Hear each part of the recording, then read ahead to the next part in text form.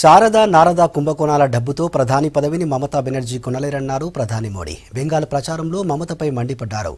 ఒడిశాలో బీజేపీ సర్కార్ ఖాయమన్నారు. మధ్యప్రదేశ్ ఉత్తరప్రదేశ్లో అమిత్ షా ప్రచారం చేశారు. బాలీవుడ్ యాక్టర్ సన్నీ డియోల్ బీజేపీలో చేరారు.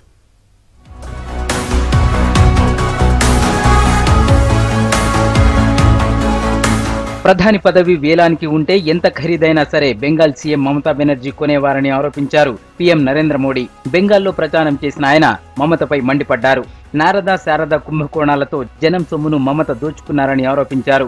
కొన్ని సీట్లలోనే పోటీ చేస్తున్న ప్రధాని పదవి కోసం కలలు కంటున్నారని సెటైర్లేశారు అంతకుముందు ఒడిశాలో ప్రచారం చేసిన మోడీ రాష్ట్రంలో కమలం వికసించబోతోందన్నారు. సహజ వనరులు సమృద్ధిగా ఉన్న ఒడిశాను అవినీతి అతలాకుతలం చేసిందన్నారు. సాయంత్రం రాంచీలో రోడ్ షోలో పాల్గొన్నారు మోడీ कि कछुए की चाल से विकास नहीं चल सकता इसके लिए रॉकेट जैसी तेजी चाहिए वैसी तेजी जैसे बालासोर के रॉकेटों में होती है मिशन शक्ति यानी सिर्फ तीन मिनट में स्पेस में सैटेलाइट को नष्ट करने की क्षमता భారత్ యాభైదేళ్ళ పాలనలో కాంగ్రెస్ చేయలేనిదంతా ఐదేళ్ళలో మోడీ చేసి చూపించారన్నారు బీజేపీ చీఫ్ అమిత్ షా. మధ్యప్రదేశ్లో షా ప్రచారం చేశారు. కాంగ్రెస్ ఓటు బ్యాంకు రాజకీయాలు చేస్తుందన్నారు.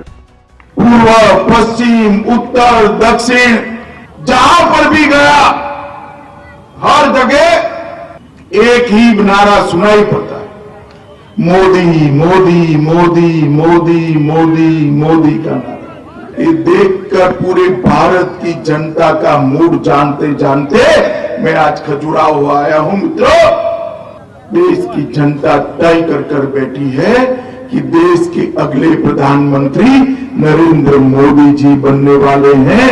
उनको बनाना है బాలీవుడ్ నటుడు సన్నీ డియోల్ బీజేపీలో చేరారు రక్షణ మంత్రి నిర్మలా సీతారామన్ ఆయనకు పార్టీ సభ్యత్వం ఇచ్చారు కేంద్ర మంత్రి పీయూష్ గోయల్ కాషాయ కండువా కప్పి ఆయన్ను పార్టీలోకి ఆహ్వానించారు తన తండ్రి ధర్మేంద్ర గతంలో వాజ్పేయికి సహాయంగా పనిచేశారని ఇప్పుడు తాను మోడీకి తోడుగా పనిచేస్తానన్నారు సన్నీ డియోల్ ఆయనకు పంజాబ్లోని గురుదాస్పూర్ టికెట్ కేటాయించింది బీజేపీ చండీగఢ్ నుంచి హిందీ నటి సిట్టింగ్ ఎంపీ కిరణ్ ఖేర్ కు అవకాశం ఇచ్చింది जिस तरह से मेरे पापा इस परिवार के साथ अटल जी के साथ जुड़े थे आज मैं यहाँ मोदी जी के साथ जुड़ने आया हूँ। उन्होंने देश के लिए बहुत कुछ किया है, और मैं चाहता हूँ कि अगले पाँच साल भी वही रहें, क्योंकि हम आगे बढ़ना चाहते हैं। क्योंकि हमारी जो यूथ है, उन्हें मोदी जैसे लोगों की ज़रूरत है। और मैं जिस तरह से भी इस परिवार से जुड़कर जो जो मैं कर सकता हूँ, वो ज़रूर करूँगा, दिल से करूँगा, लेकिन हर वक्त काम करके दिखाऊँगा భోపాల్ బీజేపీ అభ్యర్థి సాధ్వి ప్రజ్ఞా సింగ్ ఠాకూర్ ఇవాళ మరో సెట్ నామినేషన్ వేశారు. నామినేషన్ సమయంలో ఆమెకు నల్ల జెండా చూపించిన ఎన్సీపీ కార్యకర్తలను బీజేపీ కార్యకర్తలు చితకబాదారు.